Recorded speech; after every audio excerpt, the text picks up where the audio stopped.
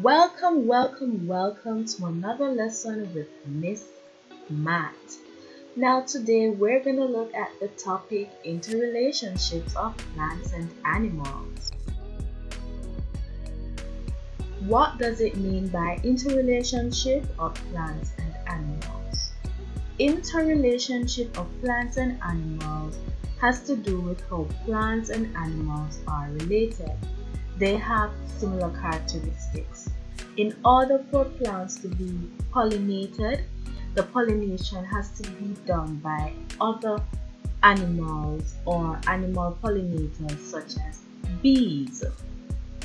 They produce food such as different kinds of fruits and all those different kinds of fruits are then consumed by animals, for example humans. Now we know that plants are producers they produce the food, and animals are the consumers. What the plants produce, the animals consume, such as us humans. Animals and plants, which are living things, require food. All living things require food. Plants of all living things makes their own food. Therefore, they are called autotrophs. Now, the reason they are called autotrophs is because they are able to make their own food. Auto, in the word autotroph means cell, and trophic means nourishment. Together, you get the word autotroph. So that shows that plants of all living things are able to make their own food. They have that ability, they were given that ability to be able to make their own food. While plants are able to make their own food, right, because they are given that ability, animals are not able to make their own food, so therefore they are called heterotrophs they have to seek food from other animals and plants whom are the producers for their food. Heter in the word heterotroph means other and trophic means nourishment.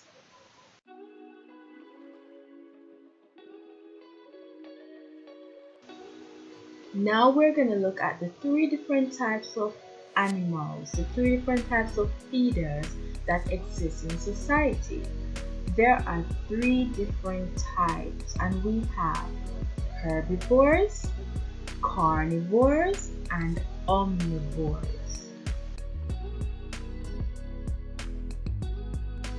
So now we're going to look at each feeder.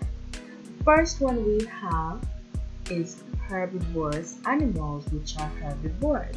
Now, herbivores are herbivorous animals. They are plant eaters only. They only consume plants. For example, we have the cow, and we know that the cow consumes grass. Now we're looking at carnivorous animals, which are known as carnivores. There are two different kinds of carnivorous animals. You have the first set who eat other animals who only consume plants. Then you have the other animals whom they eat that only eat fleshy food.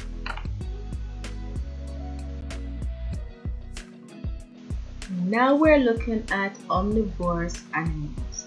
Omnivorous animals are known as omnivores, which eat both plants and animals. So for example, as you can see the lady on the screen, she is a human and she consumes both plants and animals. So for example, we eat cabbage, a plant, and we also eat chicken or we eat fish, which is a animal. So omnivorous animals eat both plants and animals.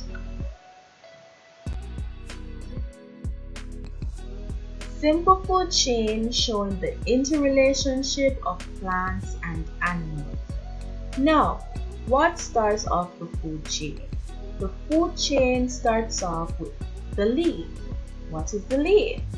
The leaf is known to be the producer. Who's the producer again?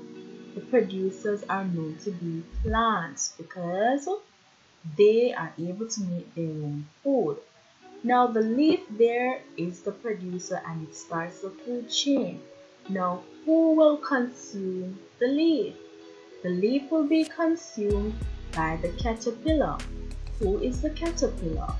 The caterpillar is known to be the herbivorous animal or the herbivore.